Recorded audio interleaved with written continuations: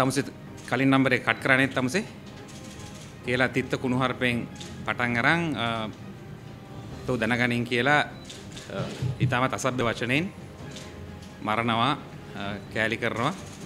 ඔබ මගේ බැංකු ගිනු ඉදිරිපත් කරලා උඹ හිතුවේ චණ්ඩියෙක්ද කියලා. මේ ආදි වශයෙන් තප්පර 40කට වගේ ප්‍රමාණයක් වගේ මම අහගෙන ඉඳලා මම විසන්ධි කරා මගේ දුරකථනය. ඊට පස්සේ මම දුරකථනය මම ගන්නකොටත් මම ගත්තේ මගේ දාලා තිබ්බේ නම්බරය ආවේ ඉටලි බූරුවා කියලා. එතකොට මම පොඩ්ඩක් තිගැස්සුණා තිගැස්සලා මම බැලුවා ඇයි මේ මං ඉටලි බූරුවා කියලා දාලා තියෙන්නේ කියලා. එතකොට මට මතක් වුණා අවුරුද්දකට විතර කලින් මේ පුද්ගලයාම මට මරණ තර්ජනයක් එල්ල කරා. ඒකේ ඉතින් මේක හරි අමාරු කාර්යභාරයක් මේ හොයාගන්න එක. මම ඊට පස්සේ අනිත් දවසම මාන්සල මේක හෙව්වා. මොකද මම මේකට කරේ කියලා. ගොඩක් කල්නේ. මාස 13ක් 14ක් වගේ කාලයක්. මිරිහානේ මම මේ පැමිණිල්ල දාලා තියෙනවා. ඒ පැමිණිල්ලේ තියෙන්නේ මරණ තර්ජනයක් ඉදිරිපත් කිරීම සම්බන්ධයෙන් ඊට පස්සේ මට මතක් වුණා නලින් මන්ත්‍රීතුමා මට කතා කරලා ඇහුවා උඹට මචං මේ තර්ජනයක් කරාද මරණ තර්ජනයක් කවුරු කරාද කියලා. මාස 3කට විතර පස්සේ. ඊට මං කිව්වා ඔව් මට එහෙමයක් කරා උඹ කොහොමද දන්නේ කියලා. නෑ මටත් ওই කෝල් එක මාවනේ කියලා කිව්වා.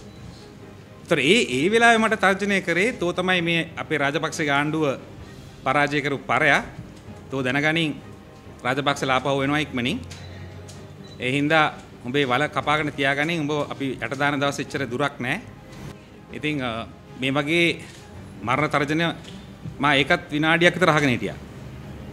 ඇත්තටම තිගැසීමට පැත්තුණා ඇමතිවරයෙක්ට මෙහෙම කතා කරනකොට ඉතාලිය නම්බරකින් තමයි කතා කරේ. එතකොට මට මේ වගේ තව ඊට පස්සේ නලින් මන්තුමා ওই කතා කරපු එක මම නලින්ගෙන් ඇහුවා නලින් මොකද්ද මේකට උනේ කියලා. එතකොට එතුමා නලින් මන්තුමා කිව්වා මචං ඕක උනේ ඔයා කම්ප්ලේන් එකක් කරලා තියෙනවා. ඔයාගේ කම්ප්ලේන් එක පරීක්ෂා කරගෙන යද්දි මිරිහානේදී ඒ නම්බරේ CCD එකෙන් චෙක් කරලා තියෙනවා. ඒ නම්බරේ තියෙනවා ඒ නම්බරෙන් අහලා තියෙනවා ඔයා කවුද කියලා නලින් බණ්ඩාර මන්තුමාගේ. නලින් බණ්ඩාර මන්තුමා කියලා තියෙනවා. මොකද මම නලින් බණ්ඩාර මන්තුමා කියලා. එතකොට මිරිහානෙන් කියලා තියෙනවා සර් මේ සුජීව සේනසිංහ මන්තුමාටත් ওই නම්බරෙන්ම ඒ දිනම මරණ තර්ජනයක් ඇවිල්ලා තියෙනවා කියලා. නලින් කියනවා නලින් හැබැයි report කරලා නැහැ. නලින් බණ්ඩාර මැතිතුමා කියනවා මටත් ওই කෝල් එක මාවා කියලා. එතකොට මට තව ওই කෝල් දෙකක් දෙකක් තුනක් විතර එනවා මට මතක නැහැ හරියට. ඒකට තමයි මම ඉටලි බූරුවා කියලා දාගෙන තියෙන්නේ.